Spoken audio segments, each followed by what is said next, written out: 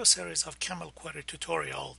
Today I would like to go through the topic of controlling the CAML query output. So we would like to see how we can limit the number of the rows that a query returns limiting the fields that a query returns and eventually we want to sort the result. In this video I'm using the SharePoint Server Object model. So we are back to our SP query object in this video, first I start by updating the CAML web part that I developed in the previous videos. If you haven't watched it, I will put the link in the uh, video description. So we want to update that web part so that it shows all the rows and the columns that the CAML query returns. Then we want to write a CAML query to sort the output. We want to limit the query in the rows that it returns. And eventually we want to define a view with limited number of fields as a result of the CAML query. For this video, I'm using SharePoint 2013 on virtual machine Visual Studio 2015 Enterprise Edition. And on the SharePoint site, I have already created a list called products with a couple of rows and columns. So this is the actual list. Let's start by updating the CAML web part that I developed some time back. I go back to my Visual Studio. If you can remember from the previous videos, I have a button called execute and I have a text box. So I can type in my CAML query here. When I click on execute it shows me a list of the titles of the list. So now I want to change it a little bit. The first thing that I did if you remember I used to have a label here. I took out the label control and I also removed all the code that puts the titles in the label. Now let's continue by writing the code in a way that it shows everything that the CAML query returns. To show that here, I would like to add a data grid view here. And let me make it a little bit better looking. And that's it. And I call it GV result. Double click on execute. I get a reference to the current web reference to the products list creating an instance of my SP query assigning the text from the text box and actually querying it.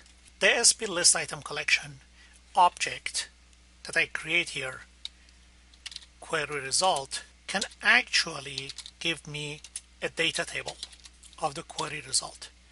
So if this is the case I can simply assign it to gv dot data source. I just need to refresh the result.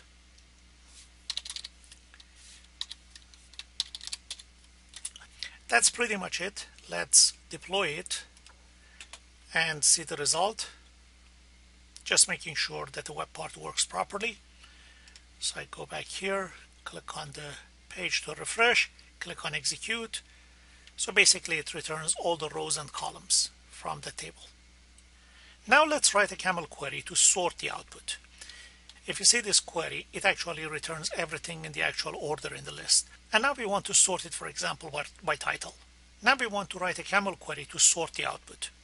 To sort the output, the query looks like this. We put an order by element and we put the list of the fields by field reference. So if I want to sort it by title, I just put the field reference name equals title and I also define whether I want it to be ascending or descending.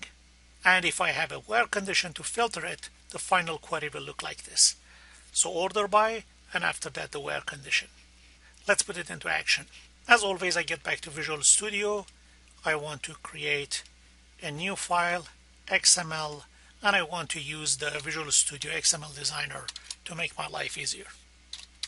Order by and field ref name equals title ascending equals true.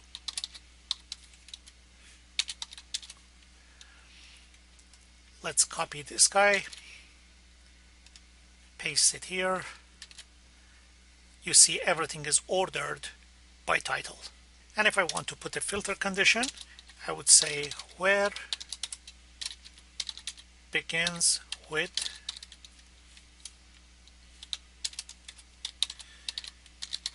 field ref name equals title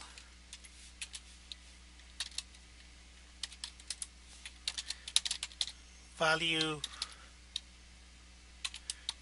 type equals text starting with A. I can get the entire thing copied here. Let's start it with D and execute. So it shows me these two items and it actually orders it by title. And if I want to make it descending, if I execute, it's just going to change the order of the rows. Now, use the item limits for the query. It actually lies down in the code. So basically, I would say when I create the SP query, there's a parameter called row limit that I can specify and it will only return the number of the rows that I specify. If you want to compare it with SQL code, it works pretty much like uh, top n. Let's see how it works. I get back to my code and for the row limit, my query dot row limit equals 4 for example and I deploy it. Let me click on execute and it only returns four rows.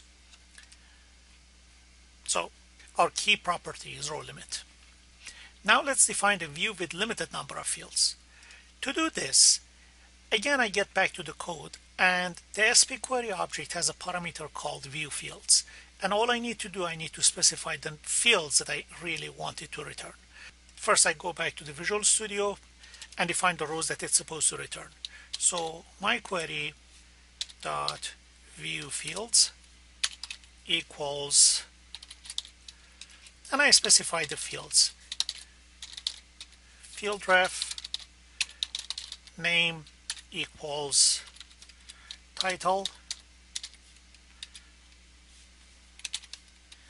And for example field ref name equals category.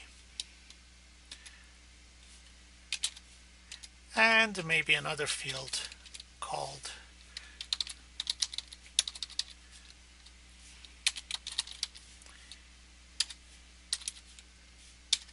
color. Now let's deploy and see how it works. So I just click on execute without any parameters. So you see I have the title, category, color, and in addition of these fields, by default, a CAML query returns ID, created, and modified. Most of the time you need the ID to process it as a data set. But if you really don't want to see those extra fields, I can say my query dot view fields only and set it to true. Once you do this, if I just click on deploy,